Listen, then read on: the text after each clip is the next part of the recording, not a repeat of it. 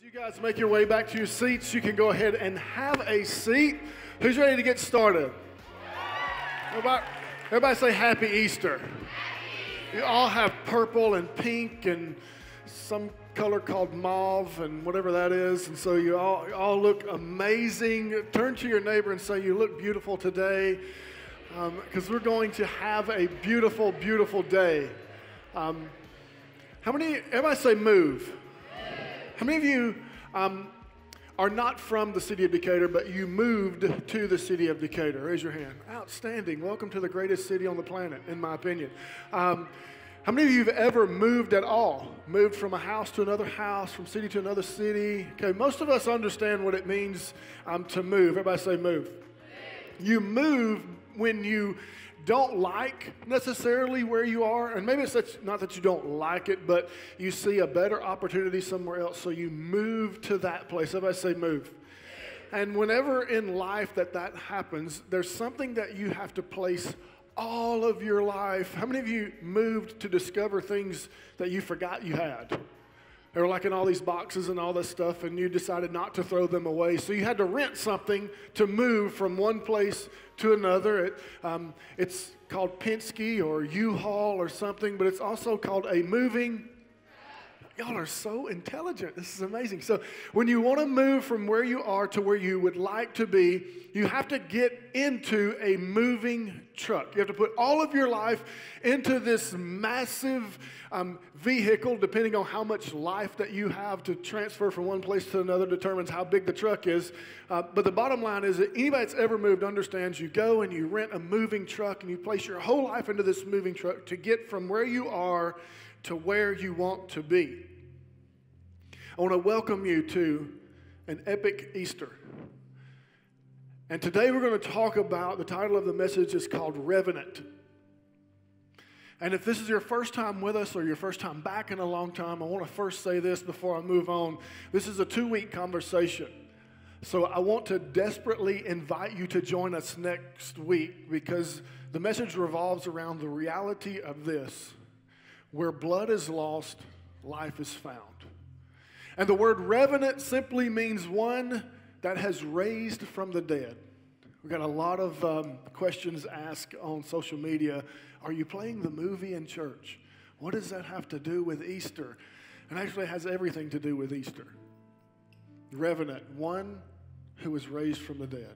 I've personally seen the movie. If you've not seen the movie, let me set it up for you. It's a story about a father's love for his son, a father's pursuit of redemption on behalf of his murdered son.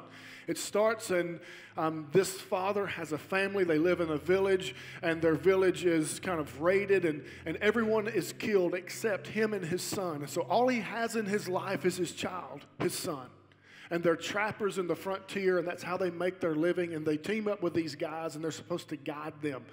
And one of the men that they're guiding hates this father. He would be considered an enemy. And the story goes on, and you see them getting arguments, and there's tension in between them because really, the father's enemy really wants to be him because he sees him as a good man. He sees him being able to do things that he can't do and he, he really wants his life, and so he just hates him. And what happens in the story is the father is mauled viciously by a bear. And it injures him to the point that he can't take care of himself. And these men that he's guiding put him on a stretcher and they begin to carry him around, hopefully to get him to safety. Well, the burden becomes too much, and this father's enemy makes a decision. He kills his son before his very eyes. And then he takes the father, his enemy takes the father, and he puts him in a super shallow grave and leaves him for what he believes to be dead. And the enemy goes on. Guided by the most powerful force in the universe that you and I know to be love, this father pulls himself from a shallow grave and is guided by this pursuit to find redemption somehow for his child. And really, that's not that hard for us to understand. How many of you in here have kids? Let me just ask you a question. If your child was in grave danger, what length would you go to to save them? If they were injured, what length would you go to to make sure that they were healed? If you knew they were about to be killed, what danger would you put yourself in to ensure their safety? That, ladies and gentlemen, is the story of Easter. Easter is about the length that God Himself went to to rescue His children. Because there is an enemy who comes to steal, kill, and destroy. And because of God's love, He sent Jesus to rescue all of us, to make a way, to move from pain to peace, from death to life, from sorrow to joy, and all that God asks us to do to move from where we are to where we want to be, to be rescued, to be saved, to be set free, is just get in God's moving truck. And maybe you ask, well, what is God's moving truck? The Bible puts it pretty simple it's faith, it's trust, it's surrender. And can I be honest? You can't trust, have faith in, or surrender to someone you don't love. So, what God asks of us is that we would love Him. And we don't love Him because we're awesome. The Bible literally says that we love God because He first loved us that in this driving force of love, He sent Jesus to this earth to rescue us, to save us, if I'm honest, from us. This is the story of Jesus. This is the story of love. This, in effect, is the true revenant.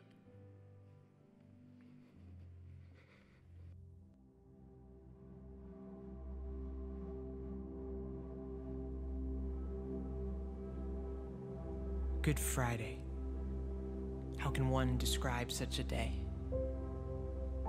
The wrongdoing of all humanity, putting to an end an innocent man, the Son of God.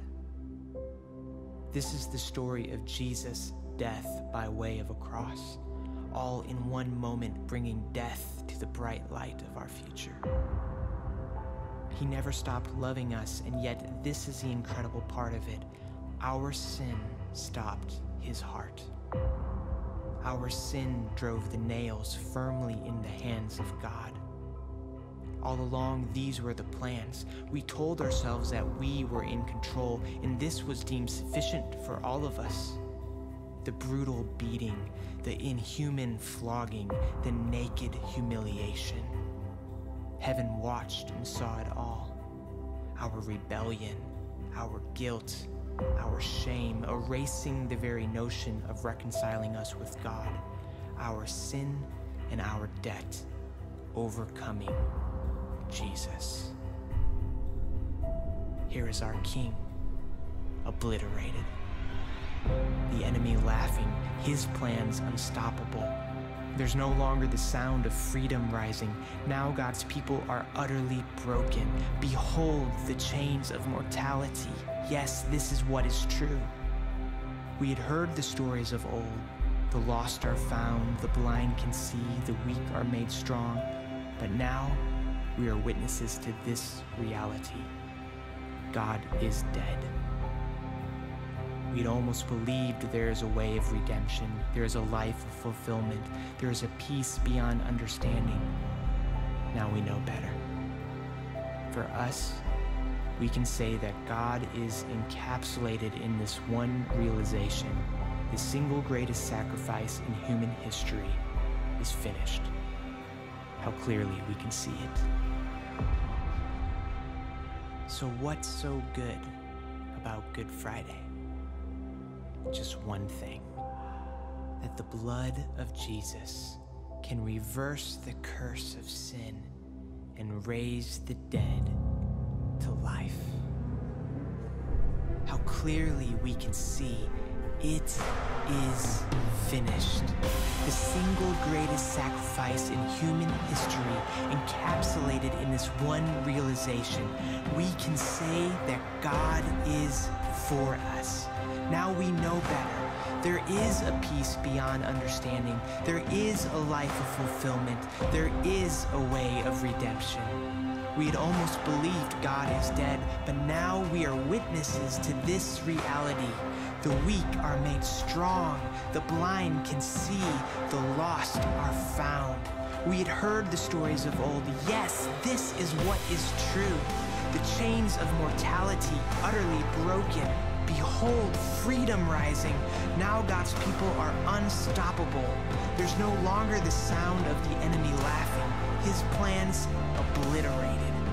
Here is our King, Jesus, overcoming our sin and our debt, reconciling us with God, erasing the very notion of our rebellion, our guilt, our shame.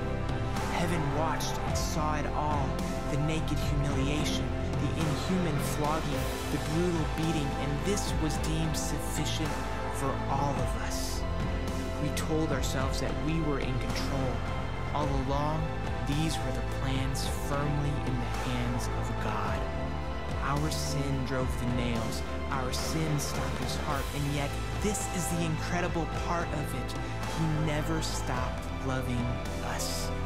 The bright light of our future all in one moment, bringing death to death by way of a cross. This is the story of Jesus, the Son of God, an innocent man putting to an end the wrongdoing of all humanity. How can one describe such a day? Good Friday.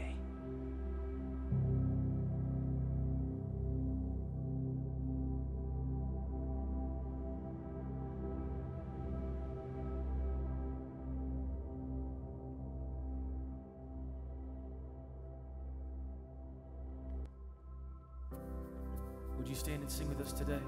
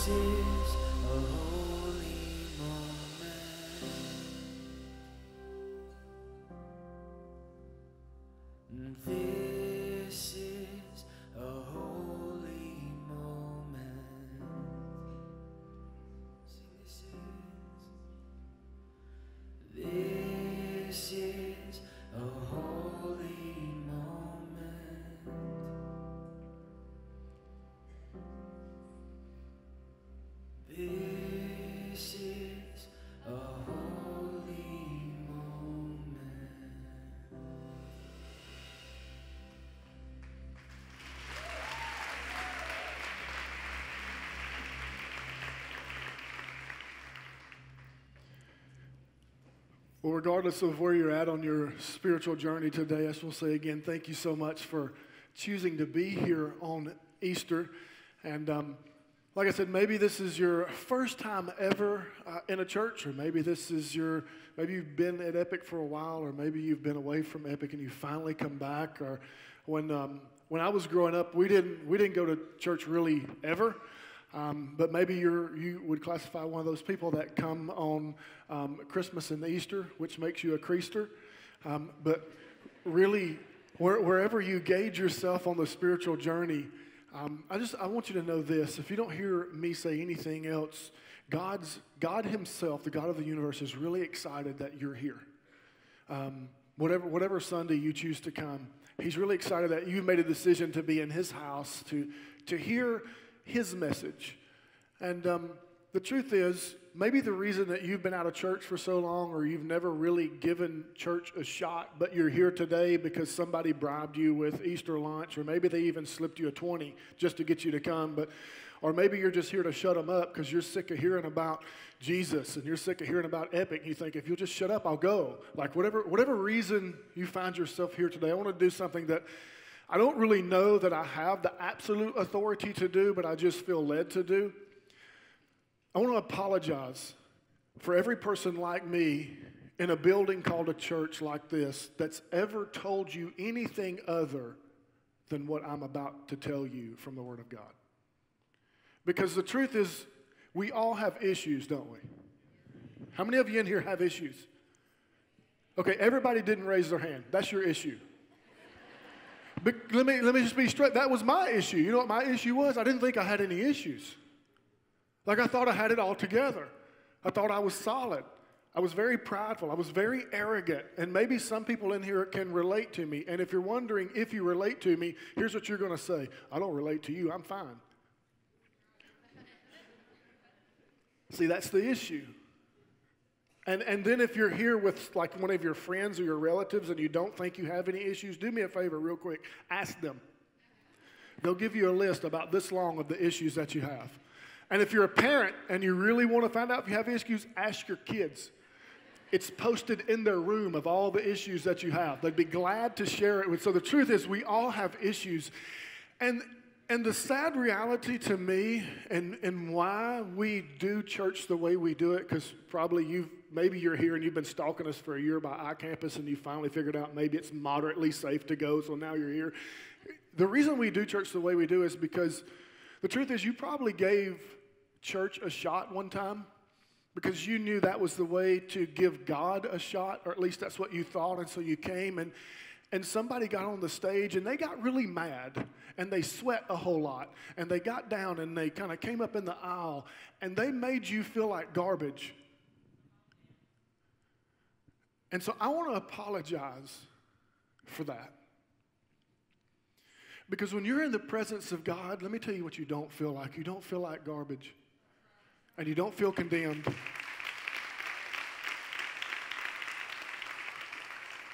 And most of the time, when, when I would give church a shot, the guy would get up here and, and recite to me all the stuff I already knew. I knew I had issues. I knew I had, I pretended like I didn't, but maybe you're like me. In the dark recesses of your mind, when it's late at night or early in the morning, we all know we have issues. We all know we have problems. And, and I tell people this all the time Aren't you so glad your issue is culturally accepted? Or aren't you so glad you can moderately successfully hide your issue from the rest of the world? Because the truth is, we all have them. And God saw fit to rescue us from our issues. And He didn't do it by sending us a list of rules. He didn't do it by saying, stop doing that and start doing this. Because the truth is, if that worked, we wouldn't be here. If I could fix me, I would have never embraced Jesus as my forgiver and leader. If I'm just honest, if that's too real for you, I apologize, but this is the truth. If we could fix ourselves, then God would have never went to the trouble of sending Jesus. And Romans chapter 3, where we're going to pick up today, is where God, in His infinite wisdom, explains that to all of us. He says this, but in our time, everybody say, my time. But in our time, something new has been added. What Moses and the prophet witnessed to all those years has happened. So many people come to church and they believe God took Xanax somewhere between Malachi and Matthew and got happy. It's like, wow, hippie Jesus showed up. Now God loves everybody. I don't, what happened? No, no, what, what the writer of Romans, God Himself, is saying is, I've always been the same. And all that Old Testament stuff that scares you and confuses you points you to a time where I'm going to do something where I step into your world and your reality and fix what you can't fix. And the writer goes on God setting things right. What we read about has become Jesus setting things right for us. And not only for us, but for everyone who believes in him. For there is no difference. Since we've all compiled this long and sorry record as sinners and proved that we're utterly incapable of living out the glorious life that God wills for us. I mean, you know, you have a list of sin 20 years long. And how many you know you're utterly incapable of living this life that is often talked about in the Bible, but you really want it, you just don't know how to get it the next phrase says this Well, God did it for us. Out of sheer generosity, He put us in right standing with Himself, a pure gift. He got us out of the mess we're in and restored us to where He always wanted us to be. And He did it by means of Jesus Christ. God sacrificed Jesus on the altar of the world to clear the world of sin having faith in Jesus sets us in the clear. God decided on this course of action in full view of the public to set the world in the clear with Himself through the sacrifice of Jesus, finally taking care of the sins He had so patiently endured. This is not only clear, but it's now, it's current history. God sets things right. He also makes it possible for us to live in his rightness. This is the good news, guys. It's where God does for us what we cannot do for ourselves, and we so many times try to do it. We try to create and rent our own moving truck to get us from where we are to where we want to be, only to discover I end up in a location that I never planned on being, and God says, I've sent my moving truck, Jesus, to take you from where you are to where you really want to be, and get this, where God Himself really wants you to be. God sacrifices Jesus. Where blood was lost, life really is found. There is a thief that comes to steal, kill, and destroy. And you know what's cool? Regardless of where you're at on your spiritual journey, you know that. You know there's something at work in the world that causes you to fall short, to feel like you're dying, to feel like you don't measure up, to always. Do you ever just wake up one morning and just feel depressed and down? There's a thief that comes to steal, kill, and destroy, but Jesus came that you would have life. Jesus would say, I gave my life so that you could have life. The love of God is what drove God to send Jesus to this planet to do this for you. And maybe I want to read a pretty famous verse. It's John 3:16. Have you ever heard that verse read? And I want to apologize again because a lot of times that verse is read to make you feel bad. Have you ever, ever had that verse delivered to you in a way to scare you? Can I, can I be honest with you on this, this Easter Sunday? God's not a scarer, He's a Savior. He, doesn't, he hasn't drawn you to this place to scare you, to come down an aisle, to, to make some kind of decision out of fear that he's going to judge you. And I'm going to I'm going to prove to you out of Scripture where God didn't send Jesus to judge you, God sent Jesus to save you. Because the message he delivers to you is one of love and hope and mercy and grace. So in the light of that reality, let me read John 3:16 to you. It says, "For this is how God loved the world." He gave his one and only Son so that everyone who believes in him will not perish but have eternal life. And every pastor stops right there. If you're like super Christian, that's all you've memorized. But it goes on in verse 17. And verse 17 is the good news of verse 16. It says this God sent his Son into the world not to judge the world but to save the world through him. And then verse 18, it builds on the good news. Listen to this there is no judgment against anyone who believes in him. But anyone who does not believe in him has already been judged. For what? For not believing in him. Can I give you some really good news? Hey, everybody to dial in. God didn't send Jesus in this world to judge you. He sent Jesus into this world to save you. Because you want to know why? God doesn't need to judge you because we judge ourselves. How many of you know that? How many of you know your list? How many of you know your struggle? How many of you know your sin? When, I would go to when I would go to church and I would sit and the pastor would get sweaty hot and rant and rave and start shouting and tell me how awful I was, I would say, I know. I got that. I'm really good at that. Tell me something I don't know. Where's the good news? Where's the hope? Where's the love that I so hear about all the time? I don't need you to tell me how awful I am because I already know how broken I am. I already know I fall short. I already know if earning is how you get in, I'm out. Because every time I try, I mess up. So today's conversation is not about how broken we are, it's about how good He is. Because that's honestly what you need to know, isn't it? That's why you came.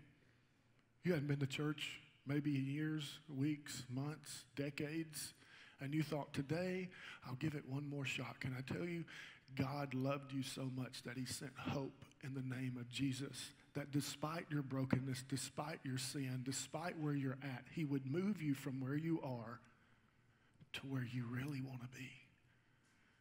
He just asks that you get in His moving truck. And honestly, if Jesus just stopped at dying, we might as well pack up and go home. Because there are self proclaimed gods all over this planet that taught some moderately cool stuff and died, and they're still in the grave, and there's no victory in them. There's no need to worship them because they have no power to change your life. But Jesus didn't stop by dying. He said, It's finished because he knew it would be. And in, and in 1 Corinthians 15 57, it says this Death swallowed up by triumphant life. Who got the last word, O death? O death, who's afraid of you now? It was sin that made death so frightening, and law code guilt that gave sin its leverage and its destructive power. But Jesus himself overcame sin and death one time, once and for all, not because of the cross, but because of the resurrection. He's not in the grave, guys. I've been there. I went to Israel. And you ever, you ever go somewhere just knowing you're going to feel the presence of God? And like if you're new to this, that stuff you're feeling right now that you're trying to touch, and you think it's the fog machine because you're not really sure what's happening in here, but you know there's something in here. That's the very presence of the living God. And sometimes there's places that we go and we go, man, I can't wait to feel the presence of God. I thought it would be that way when I went to Jesus' tomb, and I've been to it and I've stood inside of it. And I could not wait to get there because I just thought there would be this overwhelming presence of the living God in this place. He's so not there that his presence not even there. Like when he left the tomb, he left the tomb. Jesus has left the tomb. He's not even remotely there. And that's what gives us victory.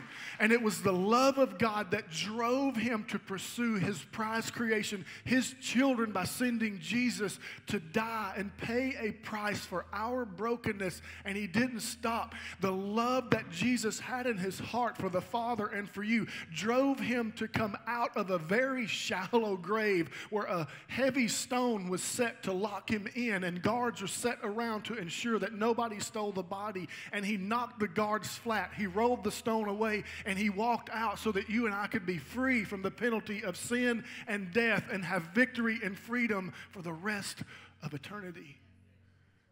It's not something you get for just a little while.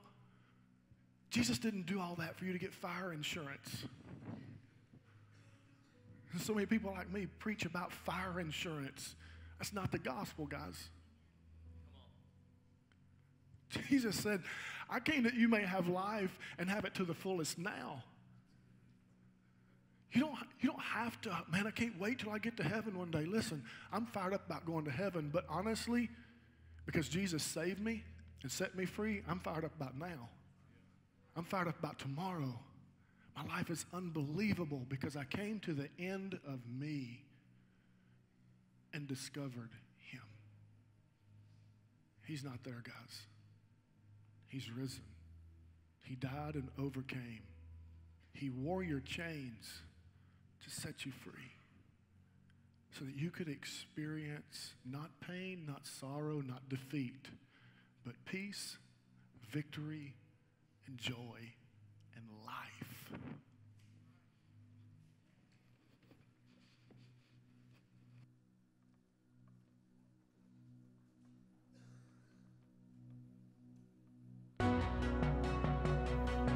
Stand and sing with us?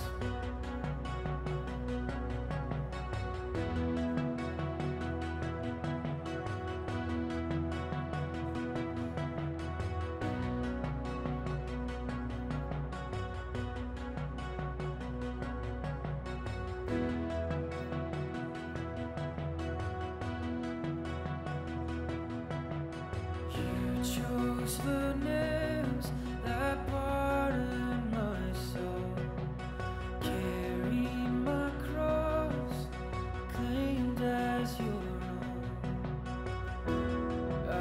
just wanna thank you.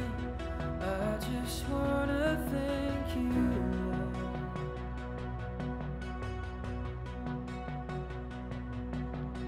You chose the thorns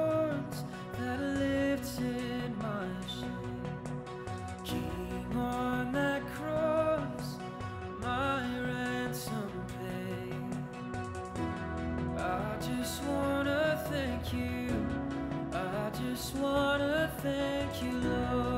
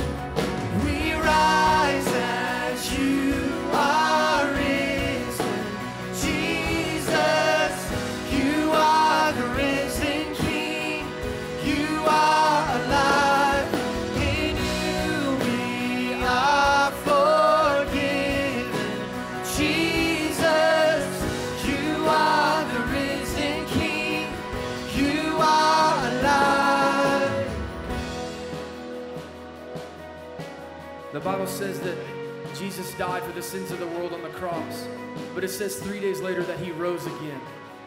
And today we have the opportunity to be a part of that life, to be a part of that rising. That's why we sing, We Rise as You Are Risen, Jesus. So we're singing about the grave being empty today. Let's sing it in belief together.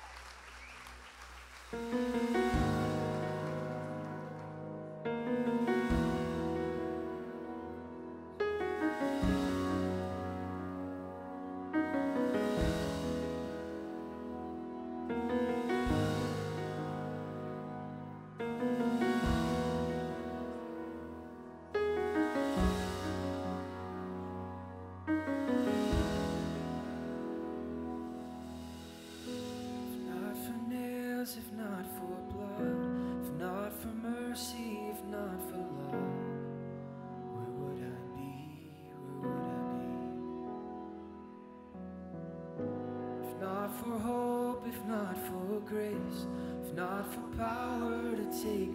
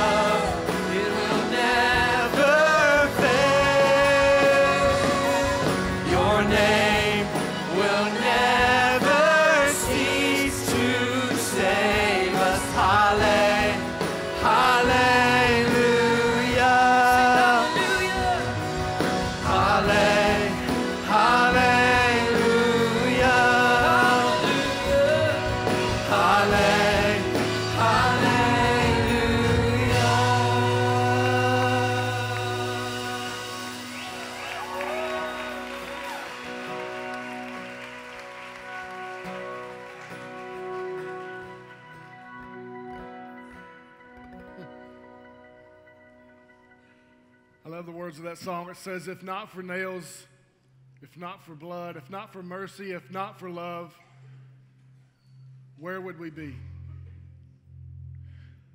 Where would I be if not for hope, if not for grace, if not for the power to take my place? I don't know where you are in this moment, but I can promise you I would not be where I stand today, where my marriage is, where my entire life is, without the nails, without God's mercy, without God's love, and without Jesus' victory. I read to you the first part of 1 Corinthians 15 51. We're saying, Death, where is your sting? I want to read to you the last part. It starts out by saying, But now. Everybody say, But now. If you're new to Bible reading or you're new to church, I just want to encourage you, you really need to pay attention and enjoy the butts in the Bible. Because it's right there.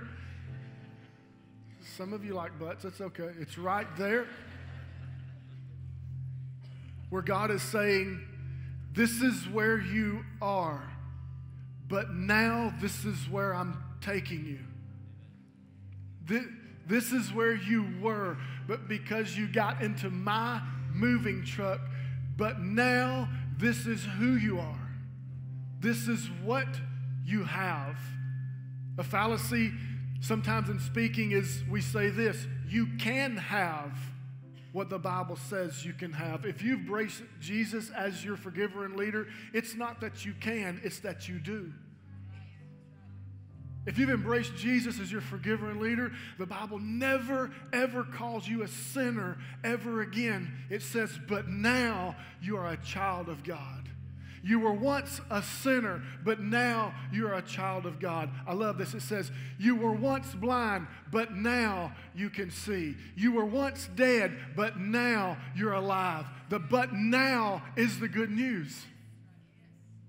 And the Bible says, But now, in a single victorious stroke of life, all three sin, guilt, death, are gone. The gift of Jesus is life. I don't know if you caught it. The Bible does not say, in a single stroke of death, it actually says, in a single stroke of victorious life, God offers you life. Based on Jesus' death and his resurrection, based on Jesus' sacrifice and his victory, God offers you that same victory, that same freedom, that same joy, that same peace. And all he asks, very simply put, is would you get in his moving truck of faith so that he can take you from where you are to where you want to be? And I know coming in here for like this is your first time or maybe your third time, this is, this is a little much. Let's just be honest. Like you've been bumped at some point during a song, and you're sitting next to your friend, and they're losing their mind, and you're thinking, if you bump me one more time, I'm punching you when we get out of here. I told, told, I told you I would come to church if you'd be calm, and you're not holding up to your. I came, and you're losing your mind. Or, or like you just thought you'd come and you, you sit next to that person and you're thinking that you haven't heard anything I've said because you've watched them the whole time. They're going, hey, man, hallelujah, praise. And you're like, what? You're so weird. It's, is it not true? And listen, when I came, when I first started coming to church, I would come to church and I'd see people doing that. They'd be raising their hands or they'd be clapping at what I thought was the wrong time. You ever notice that people clap at the wrong time, or they clap off beat, or they like you just you're totally judging the crowd. I was doing that, and and here's what I was. Here's what I don't know if you can relate to this, but here's where I was at. I was like, okay, I can tell you're excited. I can tell you have a little something that I don't have, and I want that, but I don't want to be weird. Is there a way to have Jesus and not be weird? And this was my conversation with God before I was ever saved, guys. This is the lost me having a conversation with the God of the universe. And a lot of people will tell you, oh, you can't hear the voice of God if you're lost. That's a lie. God's everywhere all the time, speaking to all people everywhere, drawing him, drawing them to Himself. And I was having a conversation as I was struggling with this whole message of the gospel. So you're telling me I can be free from the things that go on inside of me? Are you telling me I don't have to deal with depression? Are you telling me you can fix my brokenness? Are you telling me all those thoughts that I have all by myself and I know my list and I know how sinful I am? Are you telling me all I got to do is believe and you're going to take me from where I'm at to something greater than I can imagine? And the answer was always yes, but honestly, I was like, I still want to be weird. And now I'm weird.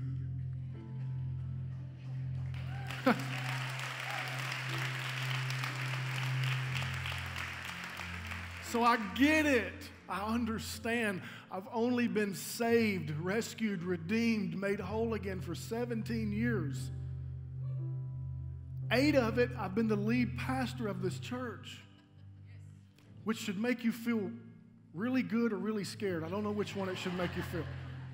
So I don't really understand the church thing.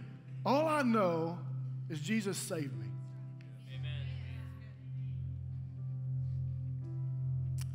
And my family and I's greatest desire is that you would experience that. Not religion, not a building, not a set of rules, but freedom through the life that Jesus offers you. And all God says is trust in me believe that what I've done is enough and I'll move you from where you are to where you really want to be. And as I was going through this journey, would come and I'd see people raise their hands and, and I'd see people like jump and clap and do all this stuff. And I was like, why on God's green earth are you doing this? Aren't you, aren't you supposed to come to church and be like, Amen. Amen. That's right. That's right. And like, that's it. And God began to show me things, and I'm just being completely transparent. And maybe as a preacher, you're not supposed to do that, but this is just who I am. I, I be, God began to speak to me and show me things. I mean, you know, when you go to the bar, I don't like. I don't know if it's uncomfortable you, but your pastor used to go to a bar a lot, and I would would go on Wednesday night because me and me and Benet were together and it was ladies' night. So we go on Wednesday night at ladies' night. Anybody ever been to ladies' night? Don't raise your hand. Because we go to ladies' night.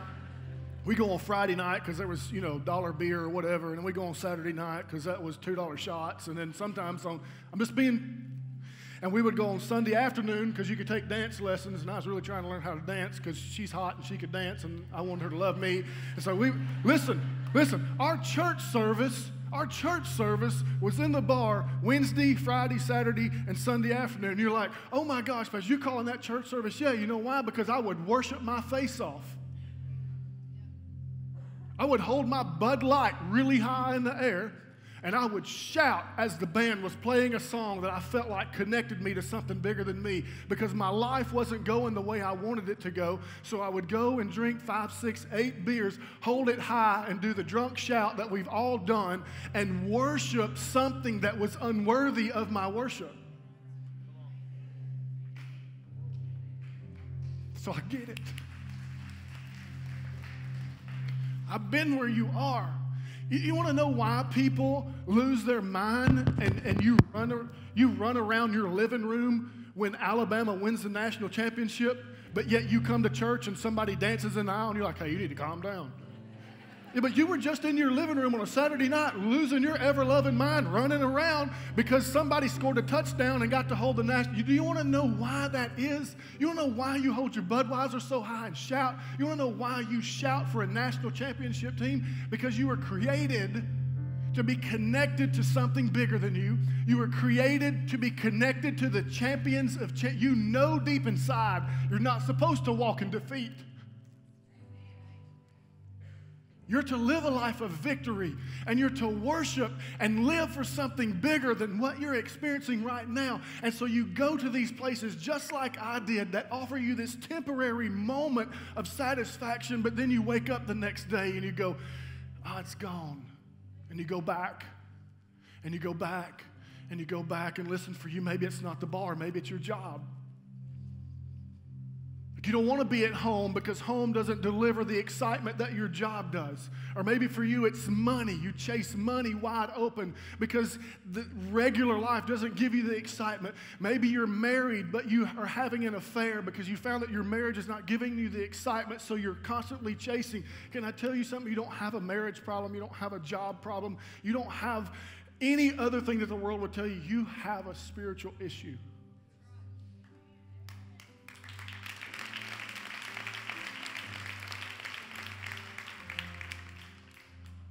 And God knows that. And He didn't send Jesus into the world to die on the cross and resurrect to judge you for that. He came to heal you from that, to deliver you from that. And God's delivery system is faith, trust, surrender. So why do why do people in here bump you? Why do they praise the name of Jesus and talk about Jesus and glorify God all the time? It's because, very simply put, they were once blind, but now they see. They were once dead, but now they're alive. And no one, no one who was dead and became alive worships God with their hands in their pockets. Nobody who was blind. Nobody who was blind. If you were blind and now you see, you're pretty doggone excited about it. Like so, so when, when you when you're if you're like I was and you come in here and you you judge these people for bumping you and raising their hands, can we just we bridge the gap a little bit? We do it for the one who is worthy. And if I'm honest, when you're away from him, you do it for the thing that's not worthy. And I understand that. So, Easter is the invitation where God enters your space through the power of the gospel and says, Would you worship the one who is worthy? The one who his love drove him to send Jesus to die for you, the one whose love drove him to overcome sin and death, the one whose love wouldn't allow death to hold him, but he would walk free from that, offering you the same freedom, the same power, and the same victory because he alone, Jesus Christ of Nazareth, he alone is worthy to be praised. He alone is worthy to be lifted high. And if you lift high the name of Jesus, here's the promise that it's going to happen in about three minutes. People will come and receive him as the gift of salvation and freedom. Stand to your feet, church. Praise the name of Jesus.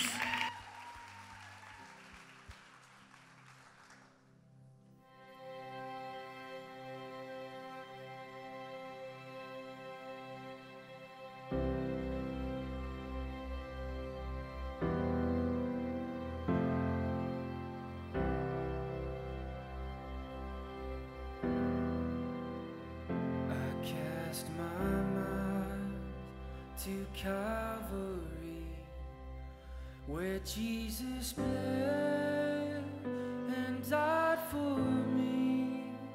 I see his wounds, his hands, his feet, my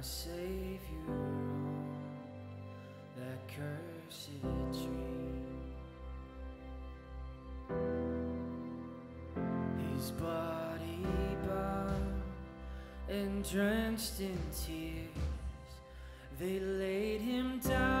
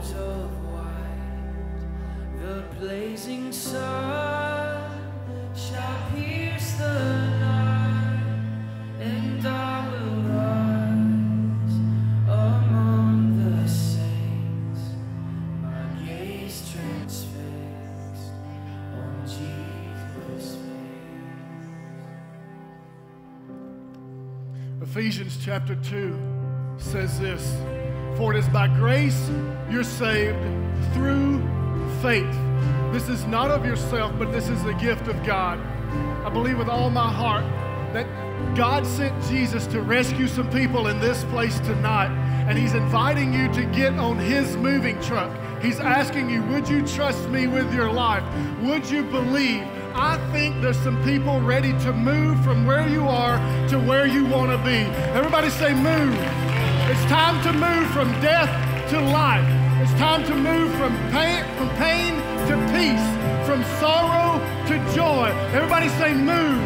It's time to move in Jesus' name. Would you place your trust in Him and Him alone? Worship Him because He is worthy.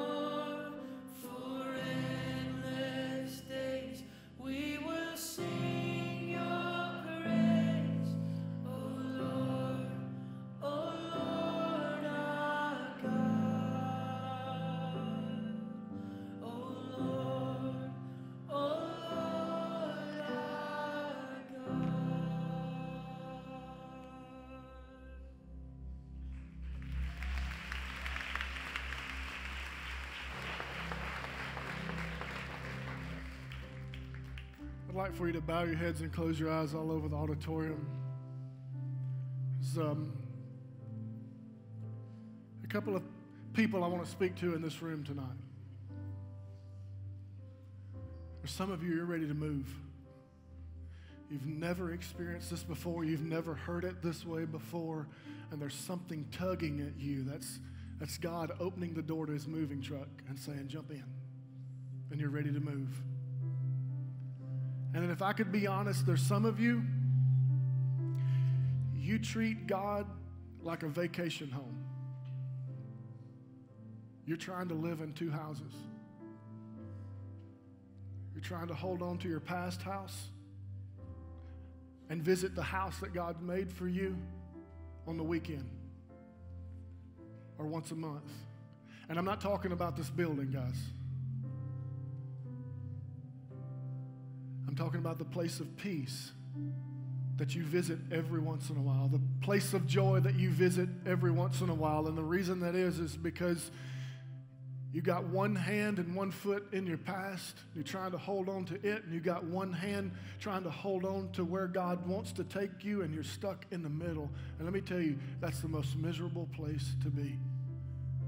We all understand when we move, we have to leave that house behind. Can't keep driving by looking at it. You can't go back and visit it. You can't even go back and stay in it. That house was sold. That house was bought with a price and it was sold, and you no longer live there anymore. And now you've been given a new place to live. It's time to move in. Move in one time, once and for all. If there's two people that make a, need to make a decision, and the decision's the same move. The Bible says the way that you do that out of Romans 10 9 is if you declare with your mouth Jesus is Lord and believe in your heart that God raised him from the dead, you will be saved, rescued, redeemed. You will be moved from death to life, from brokenness to wholeness, from pain to peace, from sorrow to joy. For it is with the heart that you believe and are justified, and it is with your mouth that you profess your faith, and you are saved. I wonder if there's anybody in this auditorium that's ready to move. If that's you, I want to ask you to do something. Would you raise your hand wherever you're at in this room? Raise it really, really high all over this room. Raise it super, super high. The Bible's clear, simple. Confess with your mouth that Jesus is Lord. Believe in your heart that God raised him from the dead, and you're going to move. So I'm going to count to three. I want you to do something. I want you to physically move today. I want you to step out into the aisle when I count to three. Come down front and let one of our staff pray with you and just celebrate the fact that you're moving from where you are to where you want to be. One, two, don't be afraid if you're 15 people in. They bumped you all night, bump them and come out into the aisle and come on down front and receive Jesus as your Savior. Three, step out, come on down front, receive Jesus as your Savior. It's time to move. Don't stay where you are, don't stay in the middle. It's time to move. One time, once and for all. Move. Move in the name of Jesus all over this auditorium by the power of the gospel. Move. From sorrow to joy, from death to life, from pain to peace. Behold, God says, I make all things new. All the old has passed away. Behold, all things have become new.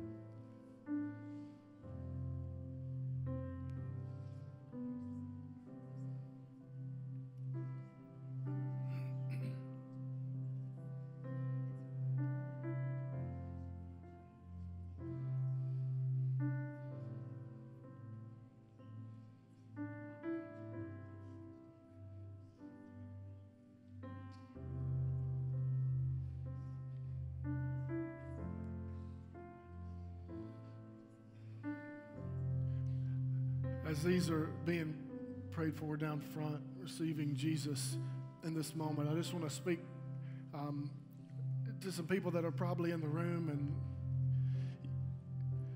you came here and this was completely not what you expected an Easter service to be. You really weren't sure what to expect, but there's no denying that, that something has moved in your life and and you may not be a church person or maybe you've been uh, away from church for a while, but let's just be honest. Taking that jump and putting your whole life into God's moving truck by faith and trusting Him and, and making that step seems a little scary to you um, at, this, at this stage of your journey. Um, as a pastor of this church, I just want to say this that's okay. I want to ask you to do something for me because here's what Jesus would say. Jesus wouldn't say, start this, stop this, change this, do this. He would simply say, follow me. Watch me do some things, watch me say some things, watch how I interact with people. And the fact that Jesus is not here in the flesh anymore, he sets up his church. It's called the body of Christ. And so I would just like for you to come and hang out with the body of Christ and watch what we do and watch what is said here and come and feel and experience the presence of God and get some questions answered. And we're, we're not scared of your doubts and we're not scared of your questions and we're not scared of where you're at on your journey here at Epic. But here's what's cooler than us not being scared of it God's not scared of it either. I told you this when we started. He's really, really excited that you chose to be here today, and He has been pursuing you your whole life. Would you come next week? And would you come the next Sunday? And the next Sunday? And let's just do life together and let's watch God do something amazing in your life and in my life and our lives collectively as we pursue Him to live life to the fullest. So, church, if you would, of all those that came down front, you witnessed the miracle of the resurrection of the dead on Resurrection Sunday. Would you give Jesus a round of applause for all that he did today in your presence?